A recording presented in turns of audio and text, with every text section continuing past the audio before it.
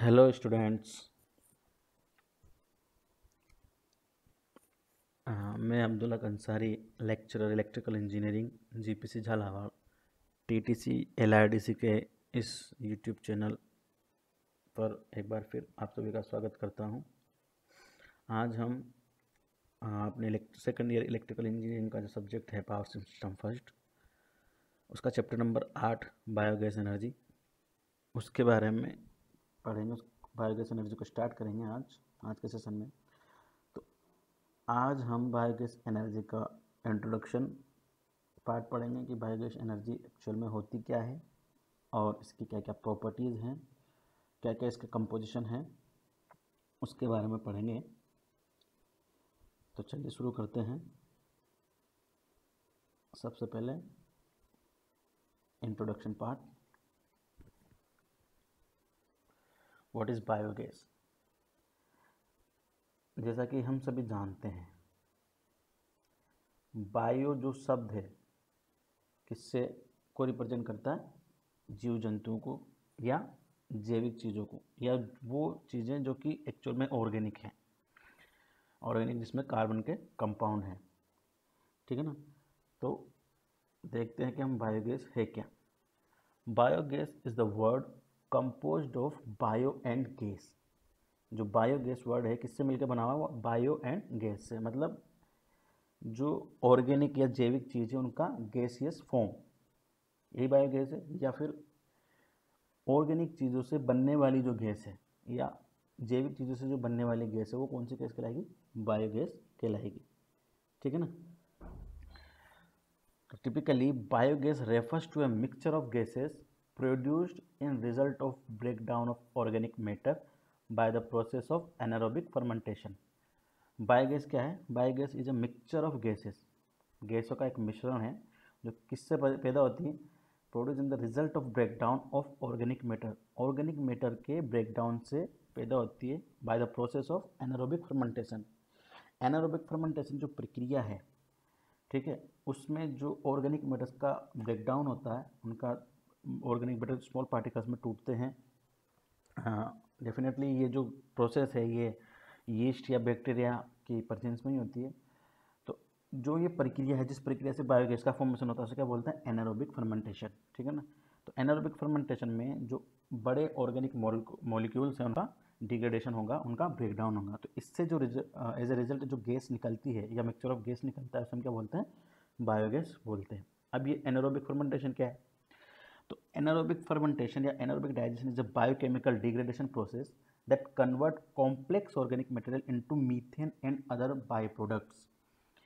जो complex organic material है, जैसे कि कॉम्प्लेक्स ऑर्गेनिक मटेरियल की जो स्मॉलेस्ट का है, अपन उसको शुगर बोल सकते हैं कार्बोहाइड्रेट बोल सकते हैं, ठीक है ना? कार्बोहाइड्रेट या शुगर तो ये जो कॉम्प्लेक्स ऑर्गेनिक मटेरियल है, इनका डिग्रेडेशन होगा स्मॉलेस्ट पार्टिकल्स में एंड फर्दर मोर डिग्रेडेशन और उससे कौन सी gas? Methane, carbon dioxide, other gases release होती है और और बाय प्रोडक्ट्स मिलते हैं। और ये जो प्रोसेस होगी वो किसके प्रेजेंस एब्सेंस में होगी। In the absence of oxygen ठीक है ना? तो anaerobic digestion is a biochemical degradation process that convert complex organic material into methane and other by product in the absence of oxygen ठीक?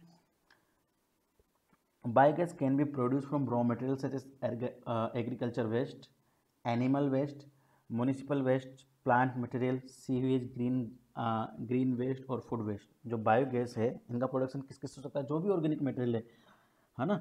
जो भी जीव जंतुओं से प्राप्त जो उनके अपशिष्ट पदार्थ होते हैं, उसमें क्या क्या आ गया? एग्रीकल्चर वेस्ट एग्रीकल्चर वेस्ट जो हमारे कृषि से जितने भी हमें कृषि से जो वेस्ट पदार्थ होते हैं जो कि फ़सल के कटने के बाद फ़सलों के जो, कुछ वेस्टेज बच जाते हैं, है ना? वो, उसके अलावा एनिमल वेस्ट एनिमल वेस्ट में जैसे हमारा मलमूत्र आ गया, जानवरों का मलमूत्र आ गया, गोबर वगैरह जो है, ठीक है?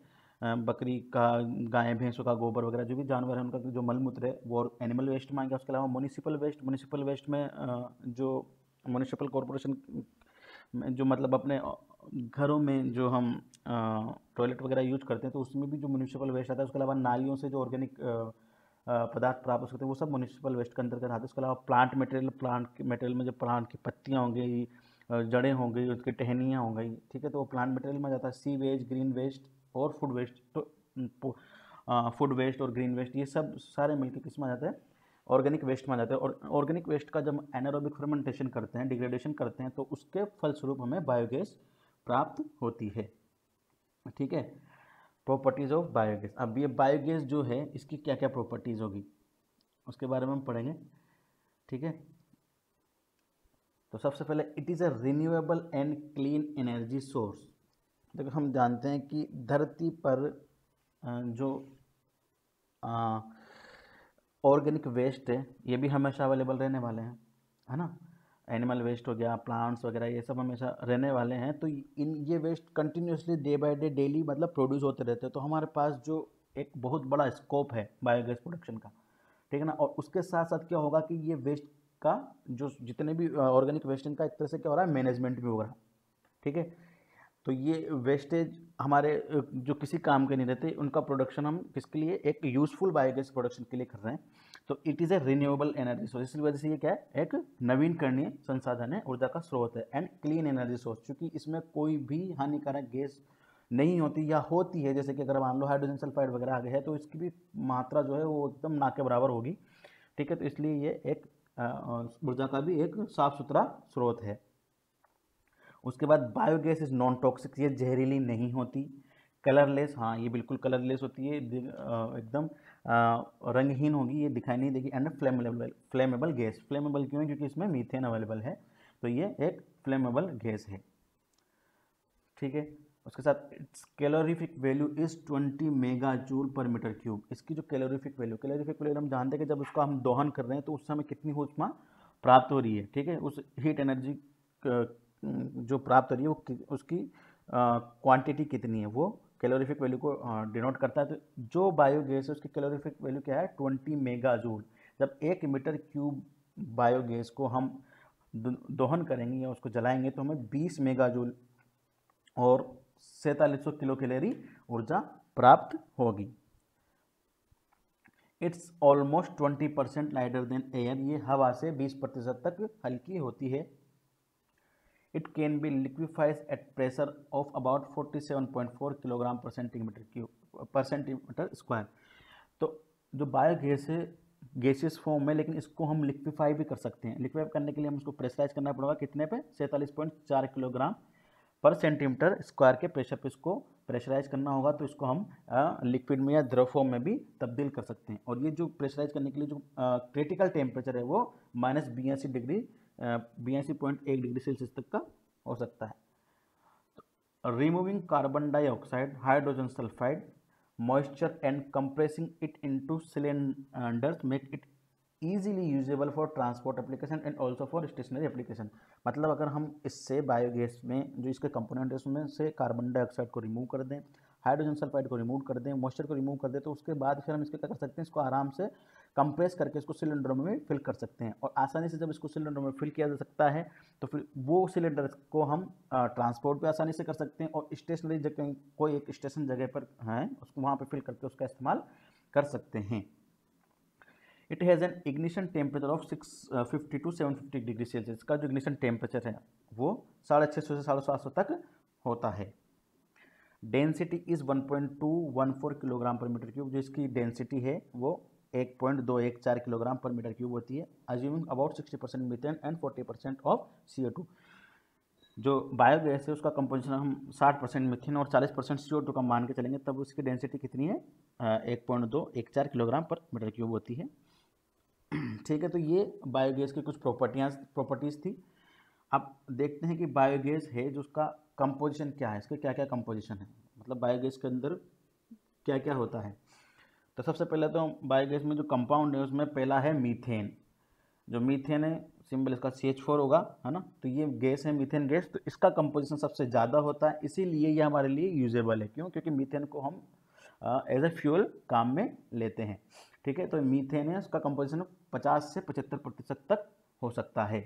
ठीक? उसके बाद है कार्बन डाइऑक्साइड मीथेन के बाद जो सबसे बड़ा इसका कंपोजिशन होता है, वो है कार्बन डाइऑक्साइड और उसकी मात्रा कितनी हो सकती है? पच्चीस से पैंतालीस प्रतिशत तक उसके बाद है फिर इसमें वाटर वेपर या आ, पानी की आ, जो वाष्प है वो है जो कि केमिकल ये जो एनारोबिक फर्मेंटेशन जो प्रक्रिया होती है इसमें जो chemical composition as a by product बनते हैं मीथेन के अलावा वाटर वेपर भी है ठीक है? तो उसकी जो इसमें जो कंपोजिशन है वो एक से सात प्रतिशत तक की हो सकती है। उसके बाद जो अदर इसके कंपोजिशन जैसे कि ऑक्सीजन नाइट्रोजन तो ऑक्सीजन और नाइट्रोजन है ये दो प्रतिशत से भी इनकी जो कंपोजिशन है दो प्रतिशत से भी कम होती है। उसके बाद अमोनिया है हाइड्रोजन और हाइड्रोजन सल्फाइड है।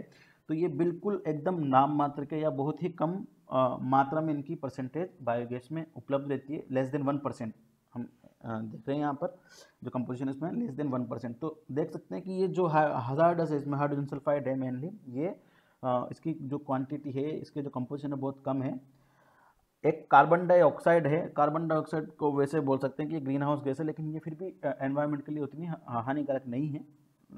जस्ट लाइक हाइड्रोजन और अमोनिया हाइड्रोजन सल्फाइड जो है, वो थोड़ी हानिकारक है, लेकिन इसकी जो मात्रा है इसमें बहुत कम है, इसलिए हम बोल सकते हैं कि ये एक क्लीन एनर्जी सोर्स है। साथ के साथ हमेशा हाँ इसको हम प्रोड्यूस कर सकते हैं, क्योंकि जो हमारे पास ऑर्गेनिक वेस्ट है, वो डे बाय डे हमें डेली मिल जाते हैं आसानी से इसलिए ये एक रिन्यूएबल या नवीनकरणीय साधन भी है। ठीक है तो ये था इंट्रोडक्शन और composition and the properties of the biogas आज के सेशन में बस इतना ही ठीक है? बाकी नेक्स्ट सेशन में हम इसके बारे में और विस्तार से पढ़ेंगे कि बायोगैस का प्रोडक्शन किस तरह से किया जाता है आ, कौन कौन से प्लांट इसके कितने तरह के प्लांट होते हैं और क्या क्या इसके एप्लीकेशन हैं क्या क्या एडवांटेज डिसएडवांटेज ये धीरे धीरे बाकी आगे के सेशन में पढ़ेंगे। Thank you